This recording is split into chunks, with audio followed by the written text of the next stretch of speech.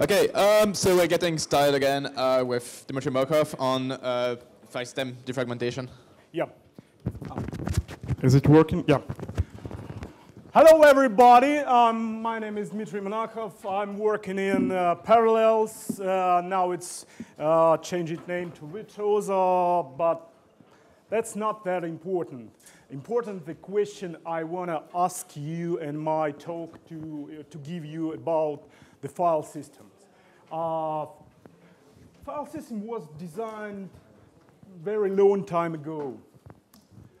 Uh, traditional file system uh, design was invented when uh, whole disk belonged to the file system. And actually, that's uh, quite uh, a bit of facts about a file system. File system divide its space on a single blocks. Uh, usually it's like a 4K. Uh, it's operate by these blocks and there is an effect which appears when you operate your file system, then your file is not continuous. If your file is not continuous, there's this effect called as fragmentation. Um, okay, here's that's the disk, and here's the files. As you can see, inode A contains two blocks which are not continuous. Inode A is fragmented. Inode B is also fragmented, and inode C, uh, inode C is also fragmented. Inode B uh, contains of two, uh, two separate chunks, and the um, fragmentation effect is less uh, important for the inode B. That is just a picture.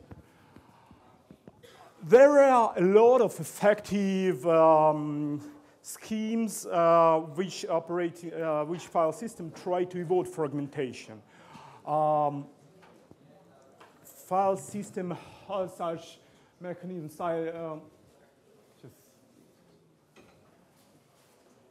uh, file system try to manage uh, disk space, try to spread all these data across the disk. For just imagine that uh, this classroom you don't have to put all these people uh, in this area, right?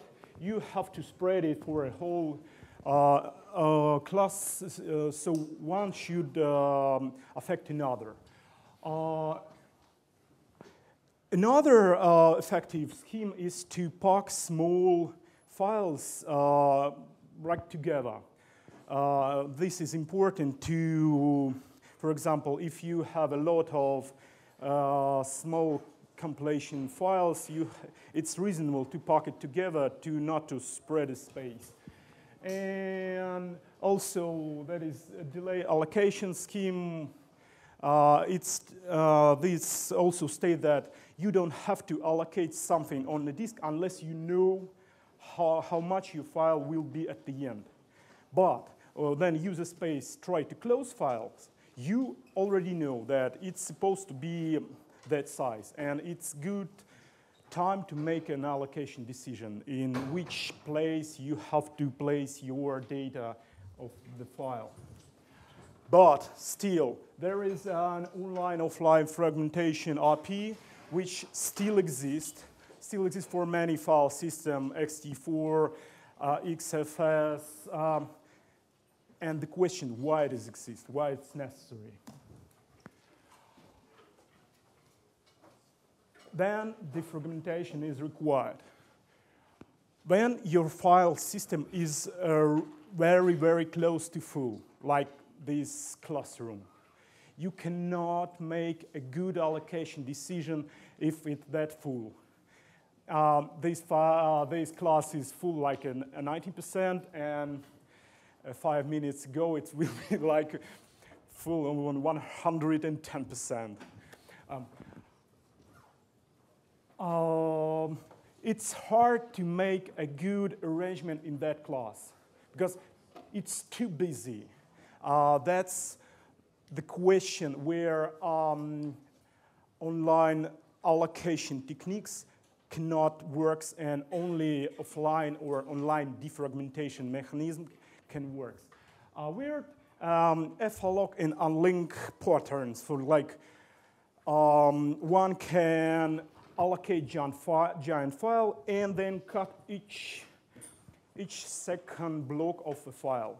So you uh, will have like very fragmented file, a very fragmented uh, block device, and you cannot do any good allocation decisions. That's the moment where defragmentation is also required. And special uh, read pattern, for example, you can uh, get a statistic which files is read uh, on your boot process. And then you can place all your files one to another, so uh, one can read it uh, sequentially, which this uh, improve your boot process significantly. Um, I have read a paper from Mozilla. They have, a, have really good numbers. So here's a basic terms of uh, fragmentation problem. There are two types of fragmentation. One is uh, fragmentation for a single file. One file uh, consists of several fragments. That's uh, single file fragmentation. And another problem is a so-called directory fragmentation problem. You have a um, directory which contains small files, uh, pictures, your Linux kernel files, and so on. And they are spread across the disk. This is not always good. Uh, sometimes you have to pocket because you, for example, your cat pictures. Uh, you scan all your directory by an alphabet, and it's reasonable to pocket. So, a single file fragmentation and directory, uh, directory fragmentation in order to, so we define the problem and which API we have at the moment. We have two separate um, APIs. Actually, it's uh, ioctl. ext4 uh, has um, so-called move ioc, and X, XFS has move uh, swap extents. The internals is not that important. Um, they are quite similar uh, except that ext4 does really, really hardcore stuff because its swap extents inside uh, it and does the data copying and before uh, um, when I first start to manage this code inside the kernel, I think that it's ridiculous and impossible to make it right. But currently it's 100% solid. You can, uh, we have even test which does a random rearrangement inside file system and it's never corrupt. So feel free to use it. Um, XFS uh, API is a bit easier from kernel side kind of point of view because actual data copying uh, happens inside user space. So API is quite similar, but slight changes exist. Okay, let's see now, let's go back to our cloud solution. Uh, what's, what is the real disk and what's uh, the cloud? Here's a picture where how we, uh, how our file system in, uh, coexist with traditional rotated or, or traditional disk. File system correspond to, file system blocks correspond to disk uh, one to another, one to one uh, with a linear uh, mapping. But uh, when we got to the virtual disk, uh, we do not longer have a traditional disk. Uh, we talk about images, QCOW images, uh, dm-thin provision images, uh, ploop images, not, I'm talking about not continuous. We try to pocket. Um, and things got complicated because um, our virtual disk tried to divide its own space on another buckets. Um, I call it buckets into comparison to file system blocks.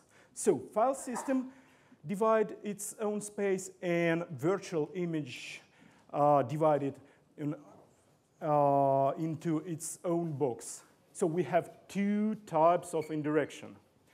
And to represent it, let's look here.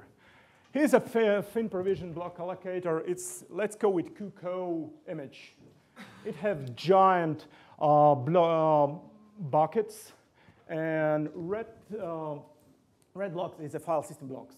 So 1A not longer uh, strictly direct to this place, it's uh, placed here. And these uh, blue square, squares actually the space which was allocated inside this virtual uh, image, but not used. For example, uh, you buy um, hosting in, in somewhere in the cloud, you allocate your space, and you only use um, blocks like A4, 3, or 5, and A1. That's the only use. But actually, um, space uh, which allocated inside a virtual image, it's like this giant block, B1 and B2.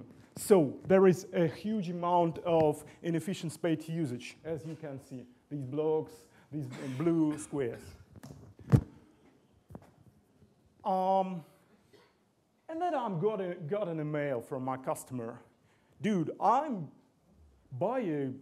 You tell me that your solution is the best.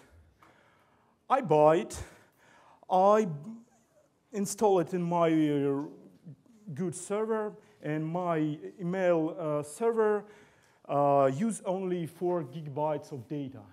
But your virtual image cons consumes uh, 30 gigabytes of my super fast SSD disk. I'm disappointed. Do, do something about that. Um, here's a picture which represent actual numbers, but Okay. Um, here's a technical overview what customer uh, actually said. Inefficient space usage. In the worst case, uh, we can be ineffective like one, uh, only four, uh, only 0.4% can be actually used. All, everything else can be wasted which is very, very inefficient. A bad I.O. pattern, if your data is spread across the disk in an efficient way, your uh, I.O. performance will be really bad.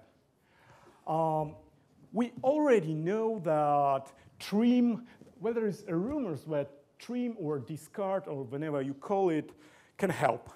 No, it can't help in a cloud solutions, in virtual images solutions, because look here.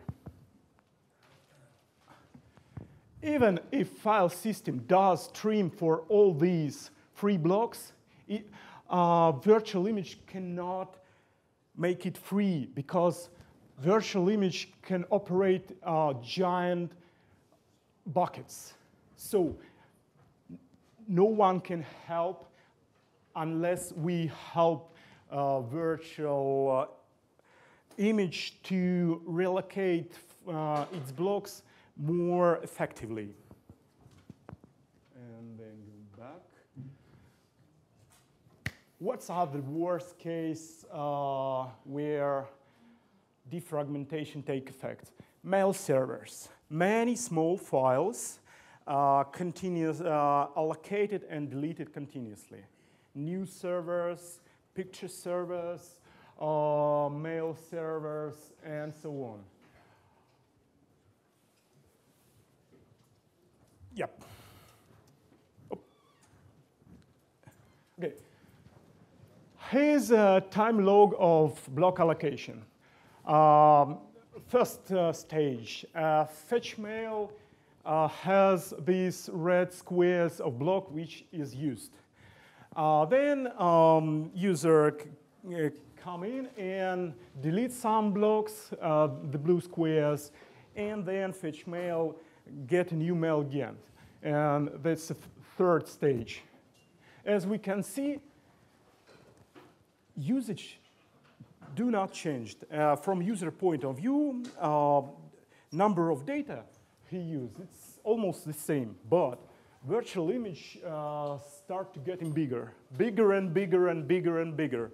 That's called uh, virtual image bloating, and you probably already saw it on a daily basis. Uh, just look at your image QCOW for, for QEMU, whenever you call it, it's always bloating from time to time. Even if you not place uh, more data, just because your file system is alive and try to allocate and free blocks on daily basis. Okay, what we have to do? Uh, in order to fix a defragmentation problem, we have to ask a file system or take uh, tools to, to make an allocation decision in uh, and taking, um, yep. TP is thin provisioning, um, yeah. Um, thin provisioning, virtual block, uh, virtual block solution, it's almost the same. So thin provisioning, it's, it's divide a whole building to the flats. Um, so we, in order to overcome uh, and fix the uh, fragmentation problem, we have to uh, take into account our virtual image and thin provisioning structure.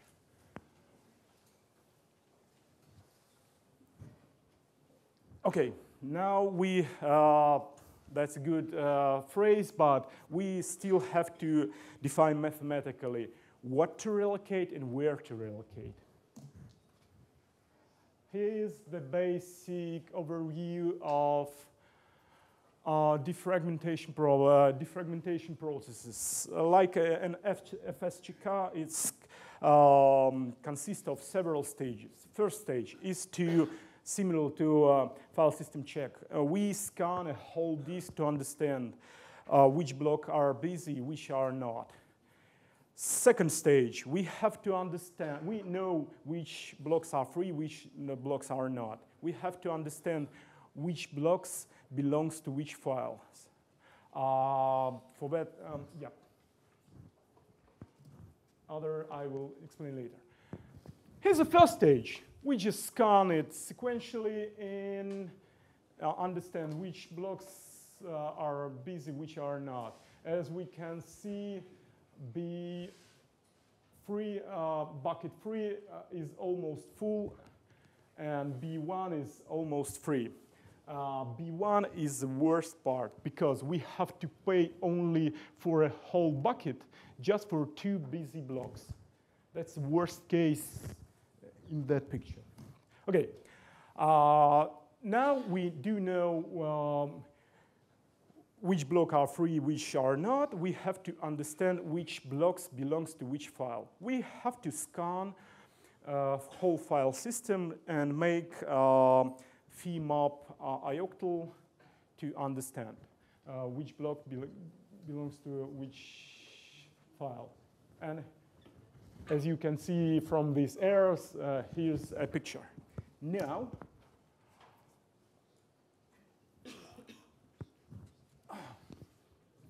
I will explain it. Okay.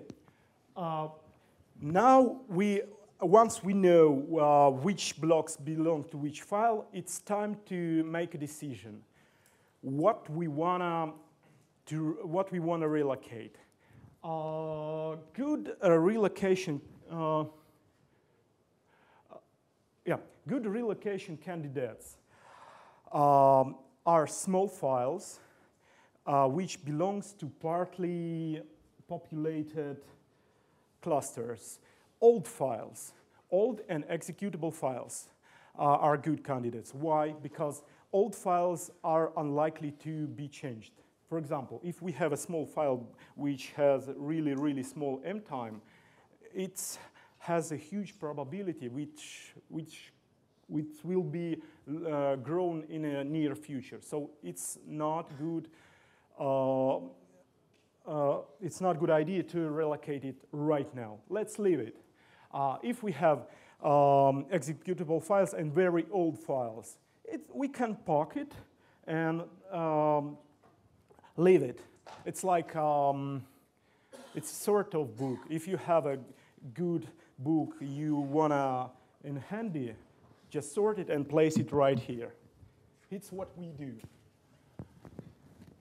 Here's a picture where the class, uh, we, we divide our files into classes. Uh, green uh, are files which are executable and small. We have a list of these uh, files, and we know that they belongs to bucket one and bucket two, and they are partly populated. So what we can do, we can pocket into one of these buckets, just move all these blocks to one. And third state um, is pictures the same. And so what we do, we scan our list, which we build, and just start to relocate these blocks one to another. Here's a picture of uh, the file system we saw after relocation happens. We just scan it, and they all belongs to B1. B2 becomes empty, so later um, virtual image can throw it and free it, so no one will have to pay for that space. It's not needed anymore.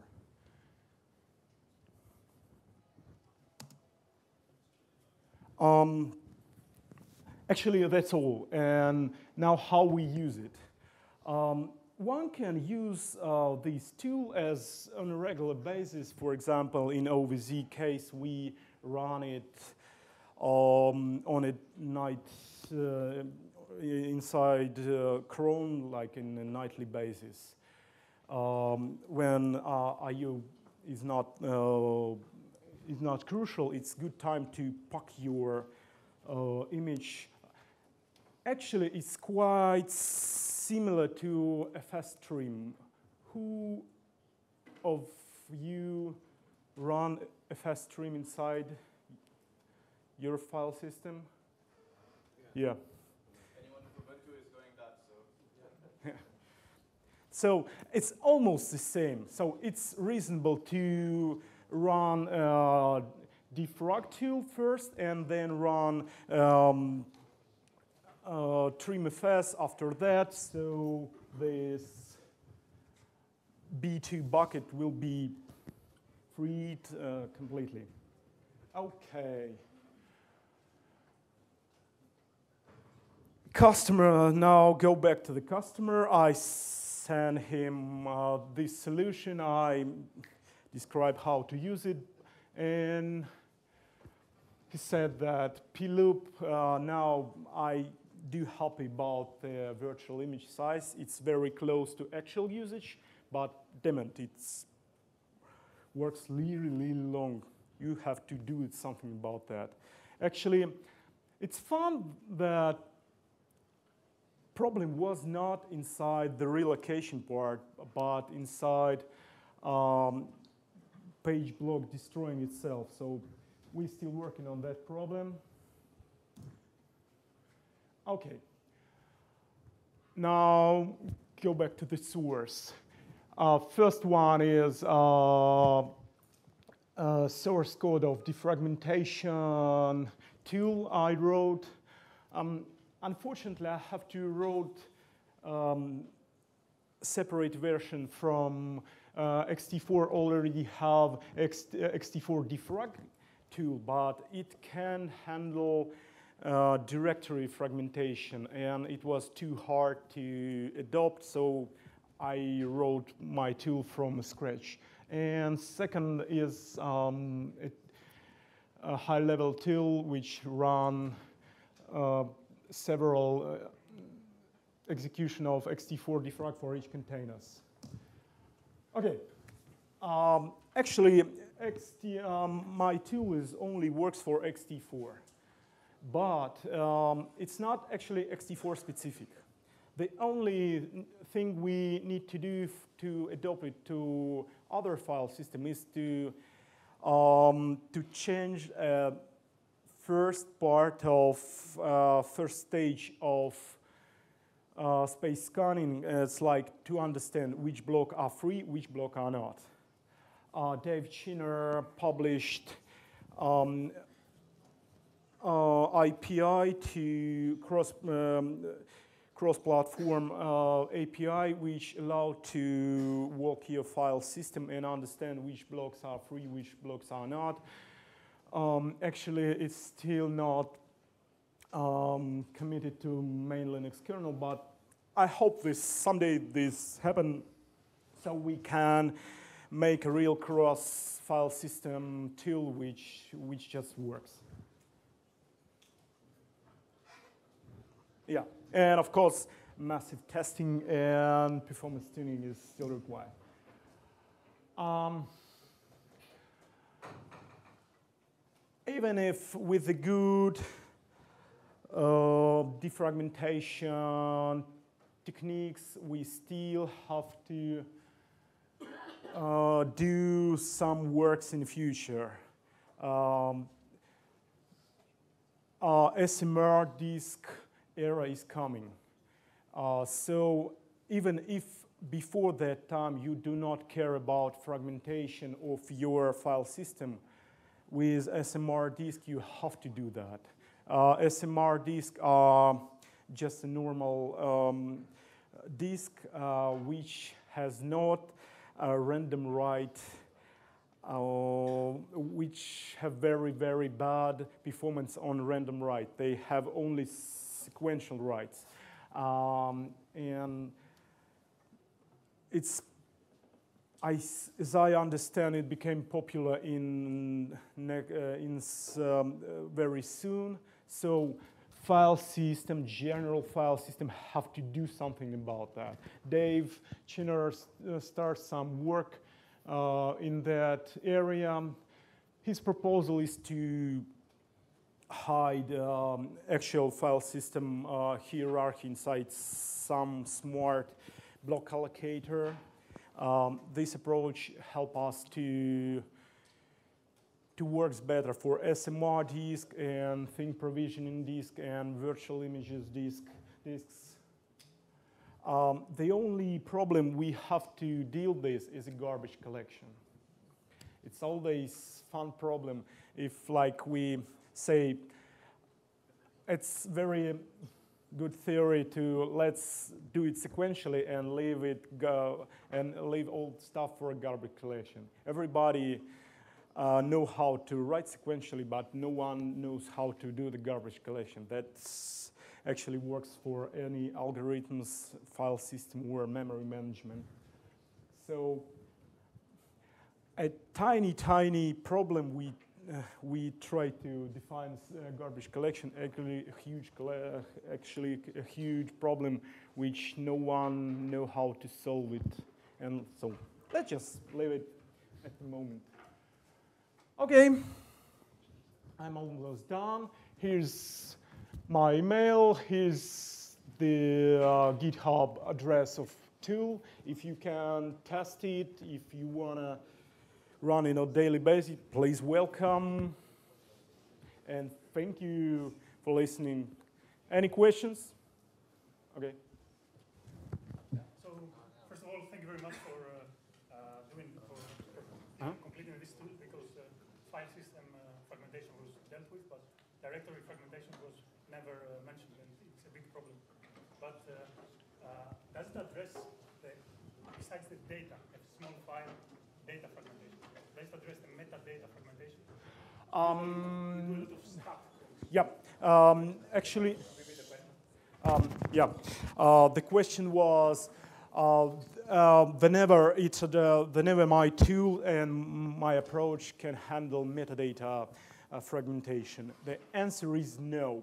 Uh, because uh, my tool is online tool, and it's not that hard, it's not that easy to make um, online uh, fragmentation tool for metadata because you have you may just imagine you have a D entry and it has a lot of kernel stuff inside the kernel which uh, point to that date block. So you have to scan a whole uh, D entry uh, inside page cache and throw it so from the page cache, and only after that you can do that. Actually, it's doable, but um, it's not. Um, it's it's a second problem uh, which affects us. It's not that important. Date problem is much worse. So it's to do. It's my to-do list, yeah. And uh, in the current situation, we have uh, uh, virtual machines which are running some very complex system like ext4 or whatever. But by the end, this optimization of ext4 is a problem. Shouldn't we have a simpler file system into the VMs that just try to minimize its space and then consider that the underlying ext4 file system, which is hosting on the on the physical host, is doing all the management of storing the file into the database.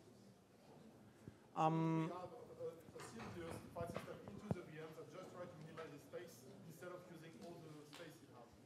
Um, yes, uh, the question is why we ever have to use um, uh, a complex file system. Let's leave it for, let's, let's try to automatically compact as possible. Yes? Yes. Um, that was my first idea. I just um, modify ext4 to try to be as compact as uh, it should. It's like um, if I use only four gigabytes of data, do not try to spread for uh, a whole disk. Let's just try to use four plus one gigabyte. That's not works because some uh, file system itself became fragmented. For example, you allocate small file, and one after and later you want to append it, but it's all, uh, it has no space inside, so it have to allocate it somewhere. So. Um, so-called aging file system aging problem becomes worse and worse and worse and worse because if your file system is very close to full, uh, that's your uh, idea to make it uh, very full, uh, virtually full. Um, aging problem arise really significantly. So um, we have to make a good decision. Um, that's why I divide my, um, I have to divide files into separate, separate groups. I have to relocate only old and small files and executable files because I do know that such files will not change in near future. So I had to compact it. I can't uh, compact several. Uh, I cannot compact uh, small but frequently change its files uh, pack, um, one to another because it's resulting fragmentation. Okay. Any other? Yeah, we don't have time for more questions. Fortunately, we, have, we, we need to start again in two Okay. minutes. So Thank you.